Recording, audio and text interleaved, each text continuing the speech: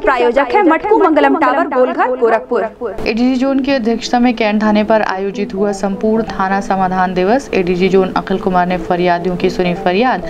पाँच दिन के अंदर फरियादियों की समस्या के निस्तारण के दिए निर्देश। नेपाली युवक की हत्या में फरार रिक्शा चालक जीजा साले को शाहपुर पुलिस ने आला कत्ल के साथ किया गिरफ़्तार। पुलिस लाइन के सभागार में एसपी सिटी ने किया सनसनीखेज खुलासा।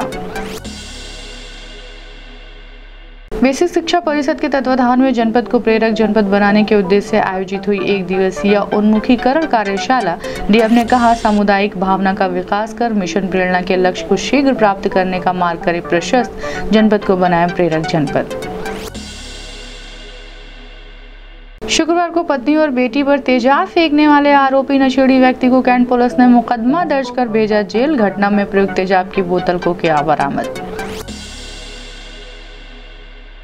जिला विधिक सेवा प्राधिकरण के तत्वाधान में शनिवार को दीवानी न्यायालय परिसर में आयोजित हुआ राष्ट्रीय लोक अदालत। प्राधिकरण के सचिव ने कहा, राष्ट्रीय लोक अदालत में आए एक लाख छब्बीस हज़ार सात सौ छप्पन मामलों में से एक लाख छह हज़ार चार सौ मामलों का किया गया निस्तारण। मातृ छाया चैरिटेबल फाउंडेशन में रहने वाली विक्षिप्त महिला का उपचार के बाद डिजोन की मौजूदगी में की गई विदाई।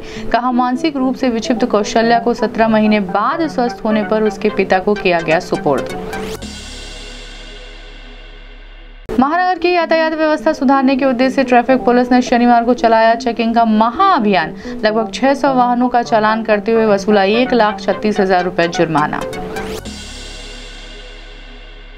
विधानसभा चुनाव को लेकर भाजपा के बुथ विजय अभियान का बीजेपी के राष्ट्रीय अध्यक्ष ने किया वर्चुअल शुभारंभ। कहा, पार्टी के कार्यकर्ता ही हमारी ताकत। योगी आदित्यनाथ की सरकार को मिलेगा जनता का आशीर्वाद। प्रचंड बहुमत के साथ बनाएँगे प्रदेश में भाजपा सरकार। एसपी सिटी के नेतृत्व में शाहपुर थाने पर आयोजित हुआ थाना संपूर्ण समाधान दिवस कहा ज़मीन और राजस्व के मामले आए सामने निस्तारण के दिए निर्देश।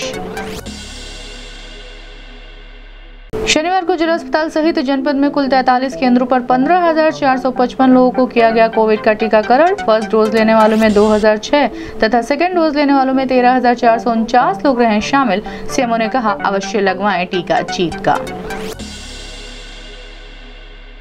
गोरखपुर विश्वविद्यालय में नेक और एनआईआरएफ मूल्यांकन पर आयोजित हुआ कार्यशाला। नेक एक्सपर्ट ने अच्छी रैंकिंग हासिल करने के दिए सुझाव।